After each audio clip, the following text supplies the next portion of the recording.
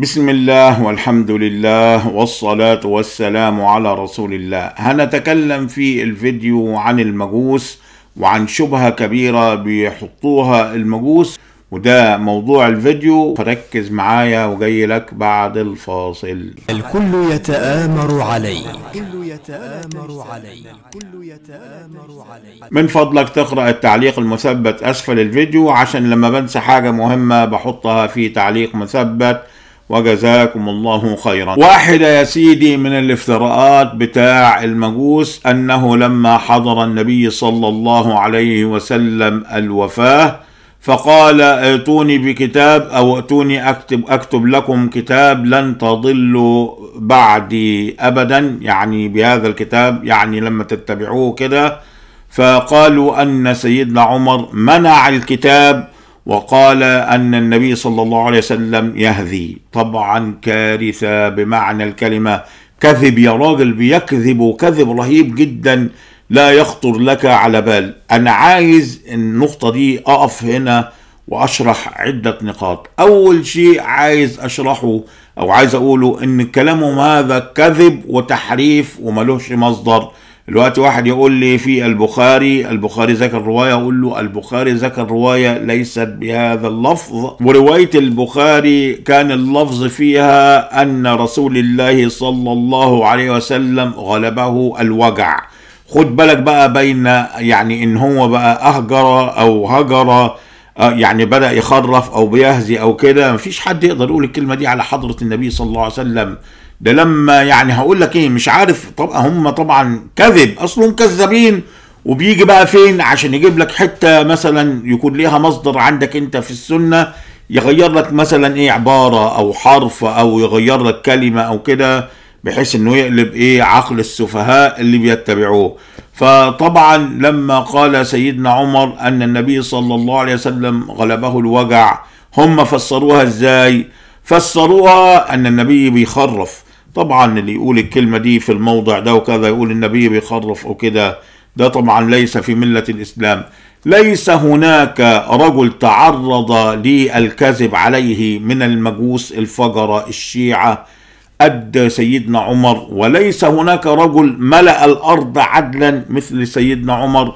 واما تيجي انت تدور هو سيدنا عمر هم كمان لسه في حتة هقولها لك كتبها الخميني عدو الله. فقال فيها أنه عمر بن الخطاب وأبو بكر الصديق سقوا النبي صلى الله عليه وسلم السم. تيجي انت تشوف جابها منين حطها منين شالها فين هو ما بيخاطبناش إحنا في الحالة دي. هو بيخاطب البهائم اللي هم بيتبعوه عشان يملأهم حقد ويملأهم آه غرور. ويملأهم يعني غيظ بحيث إن هو لما يديهم أوامر إن هم يقتلوا في أهل السنة إيه يقتلوا في أهل السنة. فالخلاصة هذا الكلام اولا من الناحية المنطقية مش منطقي خالص وهقول لك دلوقتي ليه. ومن الناحية الدينية ملوش اللي هو ثابت مش ثابت في أي حتة أصلا. أنت لما تيجي تشوف الشيعة هتلاقوهم عمالين يخرفوا كل شوية تخريف. وما عندهمش أصل. يعني مش ما عندهمش أصل يعني هم مش ولاد أصل لا مش بالتعبير ده. ما عندهمش أصل يعني ما عندهمش أصول يعني ما عندهمش مراجع ثابتة. من اللي بيتكلم وتفضل عن اللي قبله عن اللي قبله عن اللي قبله لحد ما تصل إلى النبي صلى الله عليه وسلم. بيسموها جماعة بتوع الحديث الحديث إيه؟ اللي هي سلسلة الحديث اللي هم بقى بتوع علم الرجال والحديث وكده. ما عندهمش هم الموضوع دوت خالص ولا عندهم أي أساس من الأسس. وتيجي لما تلاقي حد يقول لك قال لي الشيخ فلان وبتاع تلاقي بينهم وبين بعض يعني 20 30 سنة وما تعرفش هو شيخ وده أصلا قال ولا لأ. وهو تلقاه عربيد وحشاش وزاني وكذا ومش عارف إيه. يعني ما تقدرش تاخد على كلام أي حد فيهم. يا جماعة الشيعة عشان أجيب لك من الآخر الشيعة هم عبارة عن ثلاث أقسام أو هم قسمين رئيسيين أو خليهم لك ثلاثة. القسم الرئيسي اللي هم القادة اللي هم بتوع الملك والقرار والسياسة والسلطان دول دول هم رأس الأفعى الأساسية. يجي تحتيهم علماء السلطان علماء السلاطين الشيعة دول أحقر أنواع علماء, السلاطين اللي يخطروا على بالك وما هم إلا وجه للطاغوت. اللي ماسك السلطة وما بيقولوش حاجة إلا ترضي الطاغوت اللي ماسك السلطة. ويجي بقى بعديهم تحتيهم كمان طائفة الناس بقى إيه اللي هم المخدوعة واللي هم حاطين ثقتهم في الشيوخ. خد بالك ممكن ما يكونش حاطط ثقته في الإدارة السياسية لكن حاطط ثقته في الشيوخ. لذلك تجد العقلاء من من الفرس إيه اللي بيحصل؟ بيكفر بالدين. اللي بيخليه يكفر بالدين؟ بسبب كميات التخاريف اللي هو شايفها من ناحية ومن ناحية تانية أفعال العلماء اللي هو شايفها وفاهمها من ناحية وبعد كده أفعال السياسيين اللي هو شايفها وفاهمها وعاجنها وخابزها من ناحية. فبيقول لك هو ديني ده ديني البلطجة القتل والنصب والاحتيال والسرقة والادعاءات وده مش عارف إيه. فبيشيل دماغه. وأنا على فكرة قابلت ناس كده وقابلت واحد طلع زي ما أنا قلت له بعد كده قلت له شوف يا فلان الفلاني مش عايز أجيب أي حديث يعني أي أسماء. قلت له شوف شوف يا فلان الفلاني طالما إنك أنت فكرت فأنت مصيرك واحدة من اتنين. يا إما إنك أنت سوف تغير دينك إلى آه إنك أنت تبقى من أهل السنة. قلت له دي أنا ما أقدرش أقول لك يعني هتحصل ولا مش هتحصل. قلت له الواحدة التانية إنك أنت سوف تلحد ولا تعترف لا بإله ولا بدين ولا بأي شيء. هو بنفسه بعد كده اعترف بهذا الكلام لاحقا. خليني أرجع للحديث اللي المجوس غيروا فيه بدل ما هو رواية البخاري رضي الله عنه هي أن سيدنا عمر قال أن الوجع قد غلب النبي صلى الله عليه وسلم وهم غيروها إلى أن سيدنا عمر قال أن الرسول صلى الله عليه وسلم أهجر أو هجر يعني بيخرف في الكلام. يعني الوجع زاد عليه لحد لدرجة أن هو إيه بيخرف في الكلام. أول شيء عايز أوقفك هنا اتفقنا أن هم حرفوا الكلام ده مش موجود ولكن في حتة عايز أوضحها تانية.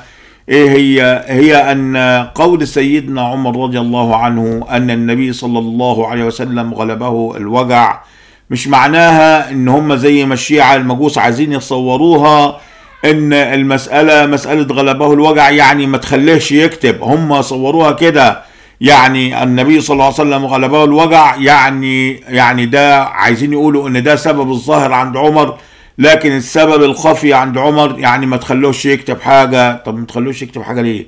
إيه هي مصلحة سيدنا عمر في إن النبي صلى الله عليه وسلم آه ما يكتبش؟ زهد عمر يا جماعة كان واضح يعني رجل من ساعة ما دخل الإسلام وهو عاش زاهد لحد ما دخل القبر ودي من حكمة الله سبحانه وتعالى أن النبي صلى الله عليه وسلم عاش زاهدا وأن أبا بكر عاش زاهدا وأن عمر عاش زاهدا وسيدنا عثمان طبعا كان هو أصلا غني أبا عن جد يعني مش هنتكلم في الموضوع ده ما خدش حاجة من الخلافة أصلا.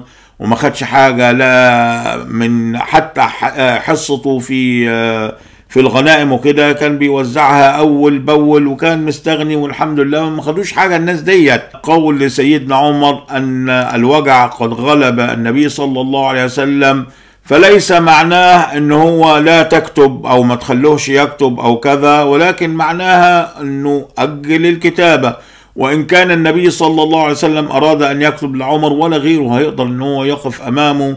والنبي صلى الله عليه وسلم عاش بعدها أربع إلى خمسة أيام. ما سمعناش انه هو مثلا تكلم في هذا أو ذاك أو تلك أو قال في كذا أو الأمور ديت. وبعدين واحد يقول لي لا ما كانش قادر. أقول لك لا ما فيش الكلام ده. ده نبي مؤيد من الله سبحانه وتعالى ولا يتركنا إلا وكل شيء واضح شديد الوضوح. الوقت بقى النقطة الاستراتيجية اللي أنا عايز أبينها لك هي إيه؟ خد بالك عشان الكلام الجاي ده بقى مهم جدا. النقطة الاستراتيجية أن الخلا أن بعد النبوة جاء من جاء الصديق أبو بكر رضي الله عنه طب ودي إيه الاستراتيجية اللي فيها؟ الاستراتيجية اللي فيها إنه سيدنا أبو بكر من بني تيم وليس من بني مخزوم مثلا وليس من بني أمية مثلا. طب وده معناه إيه؟ معناه إنه هو مفيش مركز قوة يحميه ويأيده ويديله الحكم إلا على على أصول الحق. يعني القبيلة بتاعته ما تقدرش تقف قدام العالم دي كلها. ناهيك عن خلق سيدنا أبو بكر رضي الله عنه. لكن أنا بناقش لك الافتراء بتاع المجوس إنه عمر وأبو بكر تآمروا وقتلوا النبي.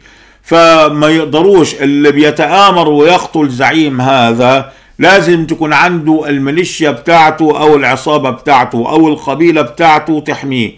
ومن فضل الله سبحانه وتعالى حتى تتبين الحقائق إن بني تيم ما يقدروش. ما همش زي بني مخزوم ولا زي بني أمية ولا زي بني عبد المطلب ولا زي العالم ديت. ما طبعا الأفضلية عند الله سبحانه وتعالى. أنا أتكلم في الصولة والجولة والسلاح. فلو جاء واحد مكان سي... بعد رسول الله صلى الله عليه وسلم من بني مخزوم كانت الفكرة بتاعتهم ديت تبقى فيها شبهة جامدة لكن انت تراعي في الدين وفي الإسلام تراعي أن الملك النجاشي أسلم ولم يدعم الإسلام بجندي واحد. وتجد أن النبي صلى الله عليه وسلم قومه طردوه عشان محدش يقول إنه هو ادعى النبوة وبعد كده قومه أعانوه على النبوة ولذلك انتشر دي كمان إيه منتفية. وتلاقي أصحاب القوة كلهم حاربوا الدين بشراهة وبشدة وتجد أن الذي نصر الإسلام هم أغراب عن عن مكة كلها. وتجد أن النبي صلى الله عليه وسلم في وقت الضعف يرفض الدعم من بني عامر بن صعصعة أو بني صعصعة بن عامر. يفقد يرفض الدعم المشروط بتاعهم إن هم يدعموه مقابل أن تكون الخلافة لهم من بعده وقال لهم إن إن هذا الأمر لا يضعه حيث يشاء. وتجد إن الأنصار نصروا النبي صلى الله عليه وسلم بشروطه هو وهو اللي محتاج لهم عسكريا. يا عمي الكلام ده مش منطقي خالص. ولو سيدنا عمر سيدنا عمر من بني عدي وبني عدي نفس الشيء على نفس مستوى بني تيم مثلا وكده فلا هو من بني مخزوم. بني مخزوم اخواته اخواله اعتقد ام سيدنا عمر من بني مخزوم. فما فيش حد فيهم هيروح ينصروا على حاجة زي كده وما فيش حد فيهم هيتكت يعني يعني هيتكتلوا على كل زي كده. وما فيش عصبية تنصروا ولا في ميليشيا تنصروا فازاي هما الاتنين؟ سيدنا أبو بكر وسيدنا عمر ما عندهمش قوة عسكرية ويروحوا يعملوا عملية اغتيال للنبي. والله العظيم ده كلام ما فيش أصلا عيل صغير في السياسة يصدقه. كلام كله كذب. هي الحروب الفكرية اللي المجوس بيعملوها دلوقتي ومستغلين الظروف العالمية ومستغلين إن موقفهم أفضل من مواقف البغال حكام العرب في غزة. وبالتالي بتبقى عندهم أرضية إن البسطاء والعامة يصدقوهم. والمغالطة المعتادة اللي بيعملوها هي إن هم بيصوروا أهل السنة على إن هم حكام العرب. حكام العرب أغلبهم كافر حقيقة ولا له علاقة بالدين ولا كده. وفيهم ناس طبعا مسلمة وتحت وتتعرض لضغوط وكده لكن ده مش موضوع الوقت. لكن هم حكام العرب اللي هم مع الصهاينة دول كفروا بالولاء وما همش مننا ومهما تجيب من أعذار ما تلاقي مهما تبحث عن أعذار ما تلقى لهمش أي عذر ابدا ودول كفروا بالولاية. ناهيك بقى ان هم ده هم يكفروا بقتل المسلمين بسبب دينهم. خد بالك لو واحد قاتل قتل المسلم مثلا طمعا في مال أو قتل المسلم مثلا على مثلا يعني أمور دنيا أو كده ده لا يكفر. إنما لو قتل المسلم لأنه مسلم وعايز يقتل فيه الدين هو ده اللي يكفر ويخرج من الملة. لأنه ما قتلش واحد عدو له في تجارة أو كده ده هو قتل واحد بيمثل دين يعني كأنه بيقتل الدين. على فكرة برضو اللي هيقتل في التجارة ولا في الأمور دي طبعا ده كبيرة من الكبائر وكارثة من الكوارث وفيها النفس بالنفس بقى وفي أمور وأحكام تانية. فالمجوس يا جماعة محدش يسمع لهم بالذات كلامي للشباب.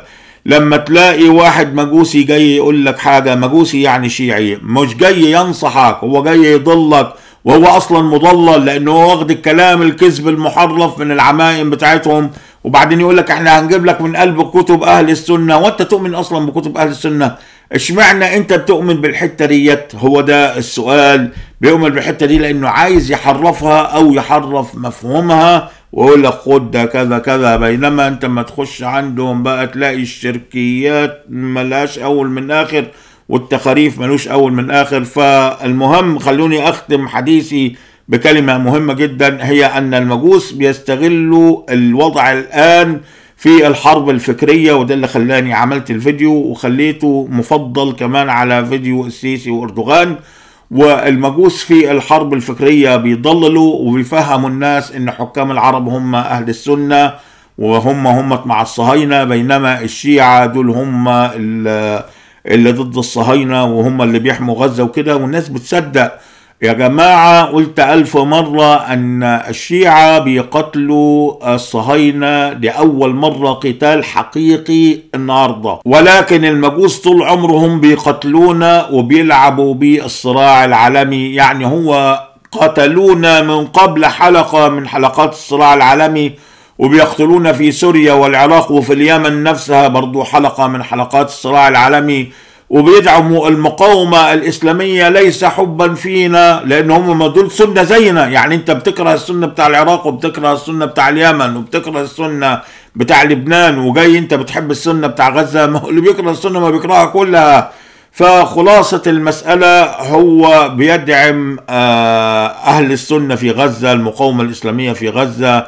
بيدعمهم برضو حلقة من حلقات الصراع العالمي. هو ده كل اللي انت لازم تفهمه ولازم تفهم الموضوع ان هم بيدعموا في سبيل روسيا وتحت ضغوط روسيا وليس في سبيل الله ابدا. والسلام عليكم.